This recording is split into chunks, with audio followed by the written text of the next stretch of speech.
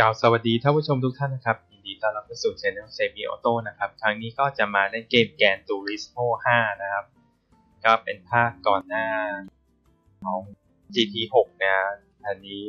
เป็นภาคแรกที่ลงบนเครื่อง P3 นะก็ดูจากหน้าตาแล้วก็อลังการอยู่นะครับนะโอเคนะครับ มามาทดลองเล่นใน arcade mode นะครับ ก็จะมี Time Trial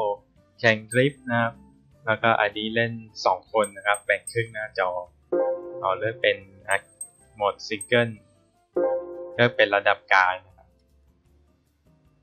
พอจะมีสนามเล่นอยู่เยอะเหมือนกันนะ สนามเดิมๆที่เคยเล่นในภาคเก่าๆก็มาด้วย มีสนามใหม่ๆครับ มีบ้างครับ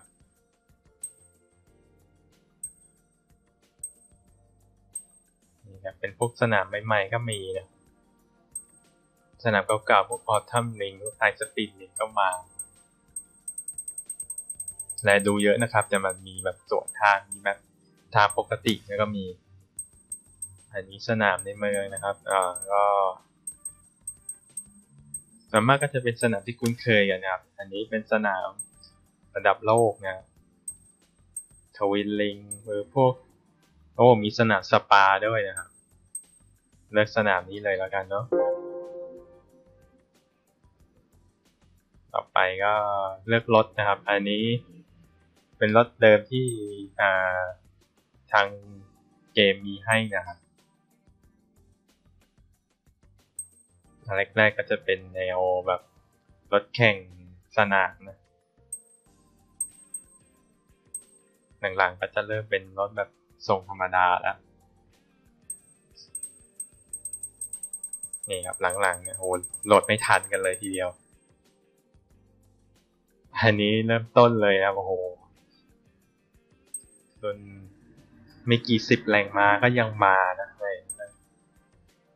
เอาไว้ขับชิวๆอ้อพีอุสก็มาด้วยนะครับ รถบ้านๆกันอยู่หลายคันเลยนะ โอ้มาสแตงก็มานะนี่ โอ้ เท่มันเลย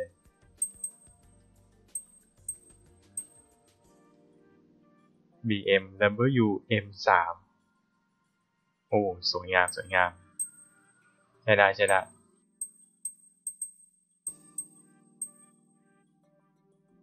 อันนี้เป็น Audi นะครับ R8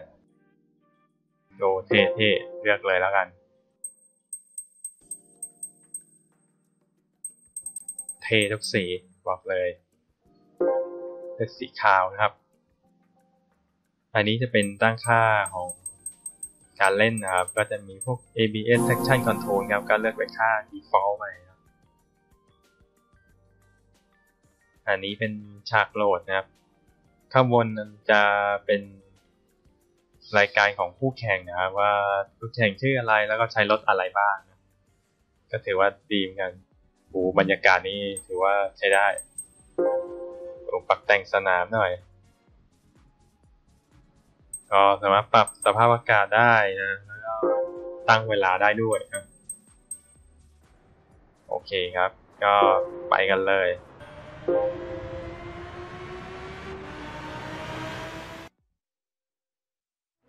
โอเคครับมาแล้ว ปล่อยแบบโลสตาร์อีกแล้วนะโอ้บรรยากาศ ภายในครับ Audi R8ก็ถือว่าใช้ได้ใช้ได้หรือว่าโทนเสียงของรถออดี้มันเป็นแบบนี้หรือเปล่านะตอนที่ผมเล่น Project CARS ที่เป็นรถเตอร์ปังเครื่องดีเซลตัวนั้นก็เสียงก็โทนนี้นะออกแบบแบบนุ่มๆนะผมเองก็ชอบนะแบบนุ่มๆแบบนี้รถมีพลังเยอะนะเสียงนุ่มนวลนะ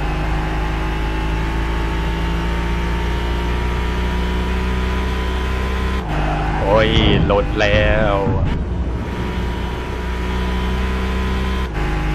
จากมาครับก็ถือว่าทำได้ค่อนข้างลำบากนิดนึงแต่เรายังได้อยู่โอ้ยโอ้โหชนกับจาโก้ซะด้วยนะ เล่นของแพงเลย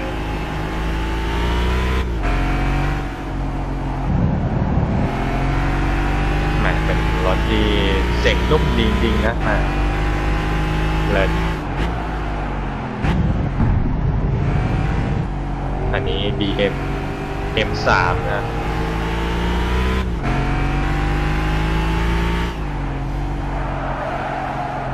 โอ้ยเขาโค้งเร็วเกินไปนะ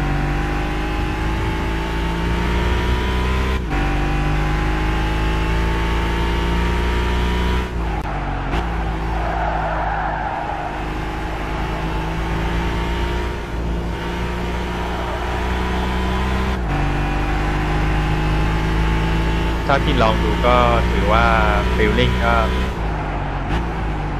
น่าจะใกล้เคียงกับ GT6 นั่นแหละนะเดี๋ยวก็มีการปรับปรุงมานิดหน่อยนะ น่าจะขับง่ายกว่าภาคนี้ด้วย ภาคนี้น่าจะ มันอาจจะรู้สึกว่าขับยากนิดนึง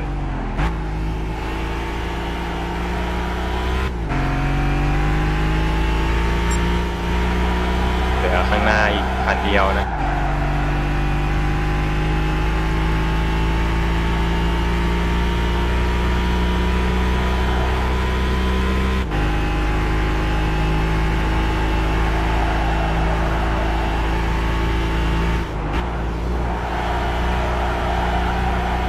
โอ้จะแหก โค้งไหมโอ้รอดนะข้างหน้าอีกคันเดียว อันนี้อะไรเอ่ย BM อีกแล้วเหรอ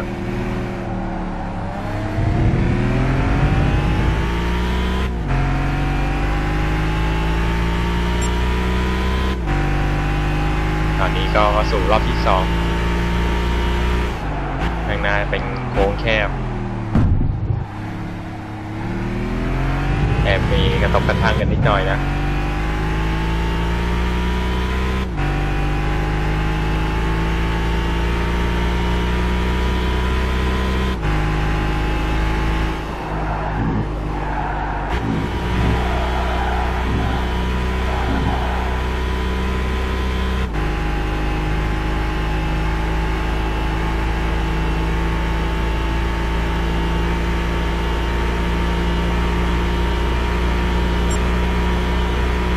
อ่าฟังเสียงนุ่มๆ เพลินกันนะแป๊บเดียวเป็นเข้าโค้งแล้วจะเร็วอะไรขนาดนี้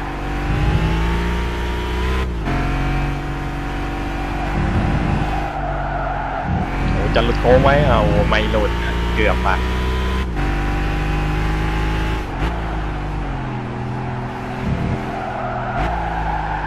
โอ้ยจะจะหมุนแล้วอ่า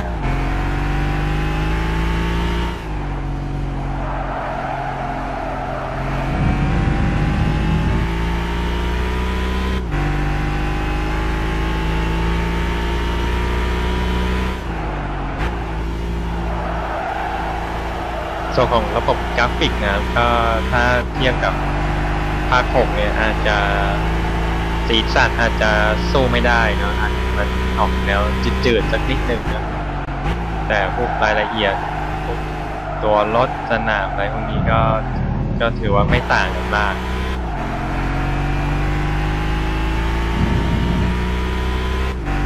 มันต่างกันแบบบรรยากาศแสงสีอะไรพวกนี้ เหมาะสำหรับคนที่ชอบสะสมนะอ่าเกมซีรีส์นี้ก็มีการวางจำหน่ายมาอย่างยาวนานแล้วนะตั้งแต่ภาคแรกๆเลยนะอ่าคือภาคนี้นี่สาวกนี่ก็ถือว่าสะสมนะครับ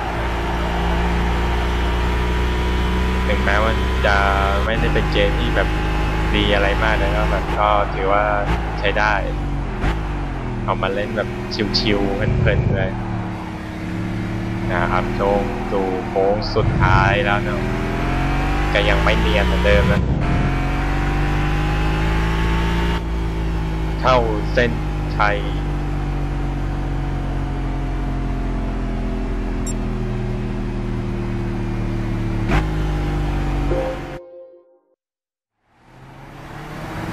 นี่ครับถ้าเป็นรีเพย์ก็ ที่บอกไปก็คือเทียบกับภาคที่ใหม่กว่าเนี่ยอาจจะสีสันจะ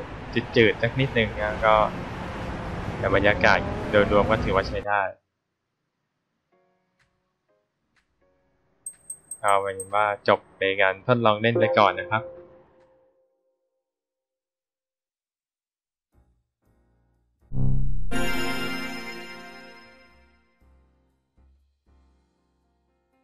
เดี๋ยวตอนนี้นะครับก็เดี๋ยวจะพาไปเข้าชมในโหมด GT โหมดนะ เป็นโหมดอาชีพ ซึ่งจะมีน่าจะมีทุกภาคแล้วก็อะไรเอ่ยอันนี้อ๋อเป็นข้อความต้อนรับนะหน้าแรกเป็นเป็นแนะนำการใช้อะไรประมาณนี้ อันนี้อ่าแบบเดียวกับเมื่อกี้นะครับอ่าแต่อันนี้เขาบอกว่าให้เซต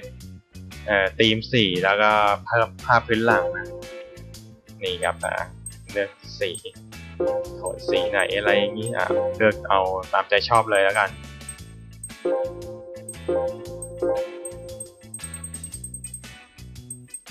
เอาแนวสีแดงๆดีกว่านี่เลยแล้วกัน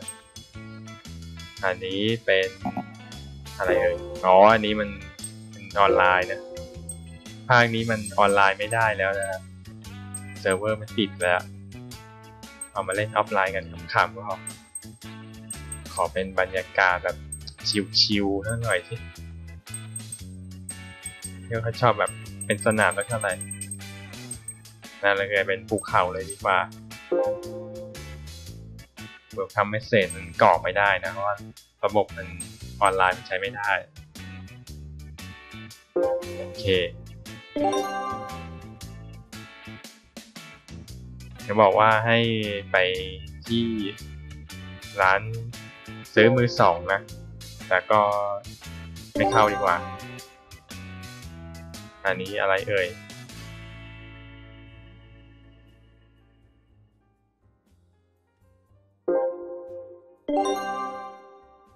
อันนี้เขาบอกอัปเดตเป็นเวอร์ชัน2.0 นะ ก็เขาจะให้รถ GT 86 มา แล้วก็อ่านี่อะให้รถโกคาร์ดมาหนึ่งคันนะครับ อ่า เพราะว่าเราได้อัปเดตไป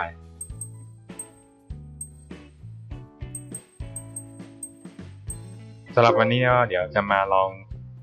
เปิดแพ็คอ่ารถที่เขาให้มานะครับ อันนี้รวมพวก DLC ด้วยนะ เพราะว่าผมซื้อแผ่นที่เป็นภาค 2013 นะ มันจะมี voucher code กรอกมาก็ดันใช้ได้ทั้งนั้น อันนี้เป็นรถอ่า Nissan GTR N24 นะ ตัวแข่ง Nürburgring 24 ชั่วโมงครับ รุ่นนี้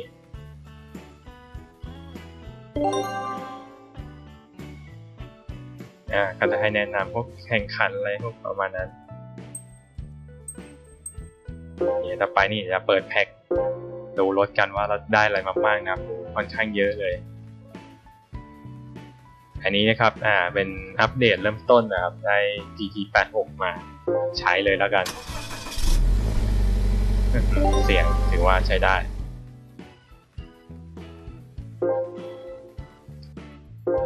คันต่อไปอันนี้เป็นโกคาร์ดร้อยยี่ห้า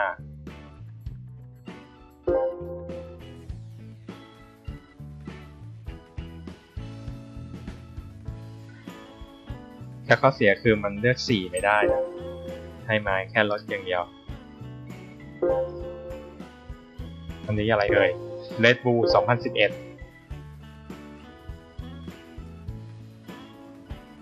โอ้ไอตัวนี้มันเทพเจ้านี่ว่าตัวแรงขันต่อไปเป็นอ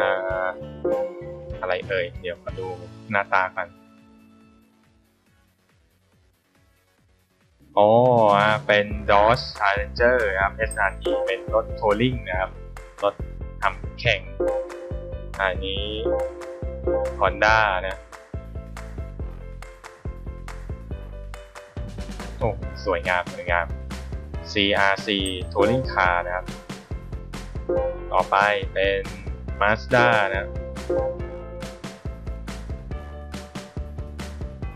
ไปเปิดได้อย่างนี้ โอ้ Mazda โรสเตอร์นะเป็น MX5 อันนี้เป็นไอเซเว่นนะทัวริงคาร์หน้าตาดิเท่ไหมอ้อเท่มันเลย ตามนี้มันมันหลายคันยังวะเลือตั้ง 20 คัน ต่อไปเป็นมิซูนะนี่เลยมิซู evo 10 touring car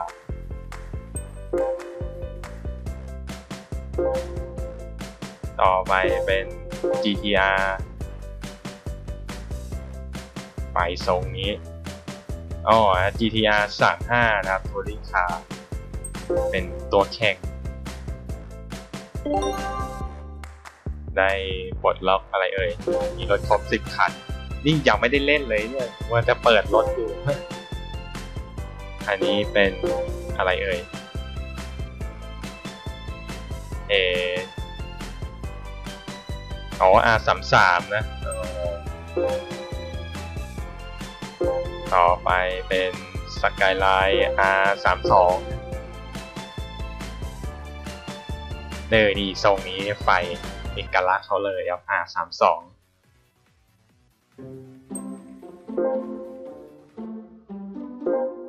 ต่อไปเป็นสกายไลน์ R34 นะหน้าตาเป็นยังไงปึ๊บนี่ครับสกายไลน์ R34 ค่อยทยอยเอามาเล่นนะแรกๆจะเล่นไม่ได้เพราะว่าตัวเกมนี้มันเน้นพวกเลเวลของรถให้เหมาะกับคนด้วย รถแปลงไปเราเลเวลไม่ถึงก็ไม่ได้ อันนี้เป็น e p r e s s a นะครับ Watcher Code กดทีนี้คุ้มเลยนะครับ อันนี้เป็น Prius นะครับ โอ้ Prius ก็ยังมีนะ อันนี้อะไรเอ่ย รถโกคาร์ดด้วยป่ะเดี๋ยวดูกัน ไม่เห็นไฟเลย อ๋อ เป็นโกคาร์ดจริงด้วย Racing Car Junior อันนี้เป็น อะไรเอ่ยเปิดมาเป็น Racing Car 100นะน่าจะเป็นรุ่น 100cc อันนี้เป็น125ไอ้รุ่นนี้มันมันซ้ำกับไอจุดแรกที่เราได้เปล่านะ ไม่แน่ใจเหมือนกันต่อไปเป็นโอ้ทรงนี้ GTR แน่นอน GTR Black Edition ปี 2012อ่า Volkswagen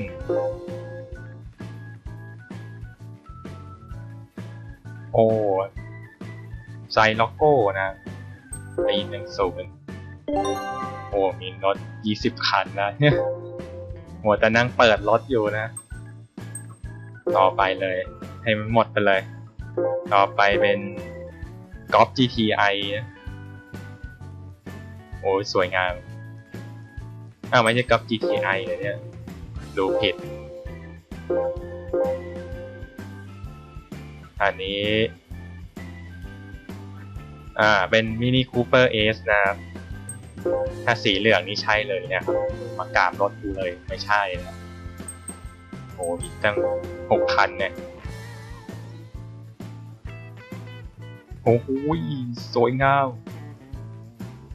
V12 Vantage Aston Martin ต่อไปเป็นจากัวนะ เฮ้ยไฟแปลกๆ โอ้ย เราได้รถเลอมังเล่นนะ น้ำตาจะไหล ของเขาโหดจริง เฮ้ยไฟนี้ กระทิงแน่นอน จัดมาเป็นว่าเวนชาดอ LP 700